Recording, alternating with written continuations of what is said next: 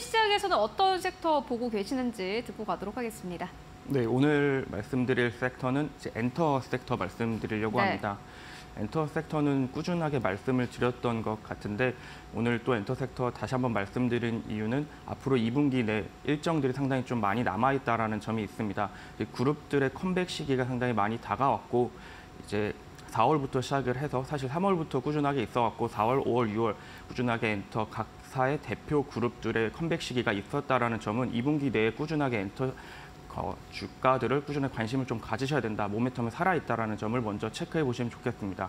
1분기 내 다소 아쉬웠던 SM과 하이브, 카카오 지분 경쟁으로 인해서 상당히 좀 섹터 전반적으로 모멘텀이 약화됐다고 한다면 그 부분이 잘 해소가 되었기 때문에 이러한 부분을 통해서 2분기 내는 좀 긍정적으로 보실 부분이 필요하고 사실 엔터는 중국 쪽 reopening 기대감을 한번 같이 보시면 좋을 것 같습니다. 콘서트 재개로 인한 기대감인데 15년, 15년, 16년 K-팝 시장을 이끌었던 건 중국이었습니다. 그러나 코로나 그리고 한알령을 통해서 사실 중국 시장이 접어들게 되고 미국 시장, BTS를 필두로 미국 시장으로 엔터 사업을 확장했던 게 대형 엔터사들의 전략이었습니다. 그러나 이제 이러한 부분들이 중국 시장으로 다시 한번 reopening 기대감 그리고 콘서트 재개 기대감으로 인해서 다시 한번 좀 주목을 하셔야 된다는 점 눈여겨보시면 좋을 것 같고요. 최근 와 들어 들어보실 수도 있겠지만은 이 중소형사 엔터들의 실적 아 그 이제 앨범 판매량 그리고 음원 차트 순위가 상당히 높게 나타나는 부분을 볼 수 있습니다. 최근 피프티 피프티라는 이제 중소형 엔터사에 데뷔한 4개월만 된 지 한 신인 그룹이 이제 빌, 빌보드 핫 100에 100위 안에 진입을 했다는 점을 봤을 때는 상당히 중소형사들 그리고 K-팝 전체적으로 인기가 높아졌다라는 점 그리고 음악성만 좋다 그러면 이제 한국의 음악 K-팝이 중소형사임에도 불구하고 상당히 관심을 받을 수 있다라는 점을 눈여겨 보시면 좋을 것 같습니다. 네, 엔터사들에 대한 계속해서 이야기 나오고 있는 상황입니다. 이현석 대리님께서 1년 전에는 하이브에 대한 전략 전해주셨던 것 아, 네, 같고요. 맞습니다. 또 이번 해였던가요? 아니면 지난해 연말이었던가요? JYP에 대한 전략도 전해주신 적이 있었는데 그 두 기업 모두 다 정말 자- 잘 갔고 이번에는 어떤 기업을 가지고 오셨을지 굉장히 궁금합니다. 네, 말씀드렸던 기업들이 이제 대형 엔터사들이죠.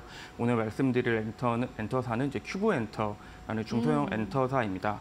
아마 들어보셨을 있겠지만은 비스트 그리고 B2B, 포미닛, 현아 등의 걸그룹과 보이그룹을 배출한 이제 엔터사이고 최근에는 여자아이들이라는 그룹을 통해서 상당히 주가와 실적이 올라와 있는 회사입니다.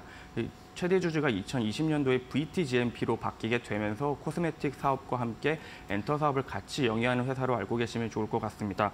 먼저 그럼 대표적인 여자아이들에 대해서 간단히 말씀을 드리면 5인조 다국적 그룹으로 되어 있는 걸그룹입니다. 18년도에 데뷔를 하였고 데뷔를 하고 나서 신인상을 받는 등 그리고 음원 어, 이제 음원이 발매되고 나서 10개월 뒤에 1억 뷰 돌파를 달성하는 등 하는 모습을 보이면서 초창기부터 상당히 관심을 보였던 걸그룹이고요.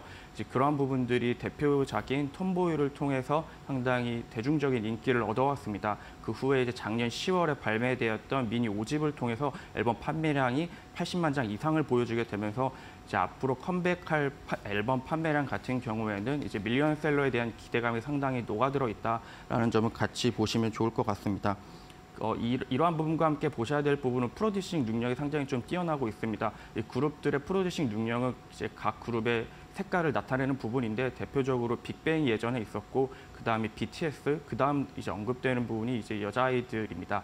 여자아이들이 각 어, 여자아이들의 리- 리더가 작곡과 작사를 자체적으로 함으로써 상당히 색깔을 보여주고 있고 이러한 반응은 팬들 사이에서 상당히 뜨겁기 때문에 꾸준하게 관심을 가져주시면 좋을 것 같고요. 이 중국 reopening 기대감과 함께 말씀드리고 싶은 이유는 이 중국인 멤버 우기라는 어, 멤버를 통해서 상당히 중국 내 인기가 높다라는 점입니다.